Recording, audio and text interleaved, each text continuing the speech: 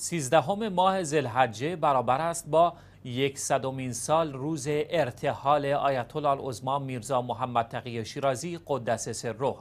آیت الله العظما میرزا محمد تقی شیرازی قدس سره دایی پدری آیت الله سید صادق حسینی شیرازی مدظله یکصد سال قبل در چنین روزی دار فانی را ودا گفت. این مرجع بزرگ که پس از سید محمد کاظم تباتبایی یزدی صاحب کتاب اروت الوسخا و در زمانی بسیار بحرانی مرجعیت جهان تشیع را بر عهده گرفت خدماتی شایان به جهان تشیع عرضه داشت که از مهمترین آنها نجات کشور عراق از سلطه استعمار انگلیس است که از آن به عنوان انقلاب 1920 میلادی یاد می شود.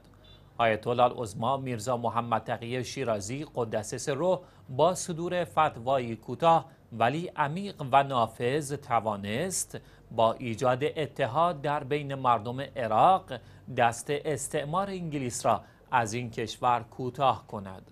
این مرجع مجاهد پس از عمری مبارزه در سیزدهم ماه زلحجگی سال 1338 هجری قمری طی مرگی مشکوک دار فانی را ودا گفت و در صحن متحر حرم امام حسین علیه السلام در شهر مقدس کربلا به خاک سپرده شد.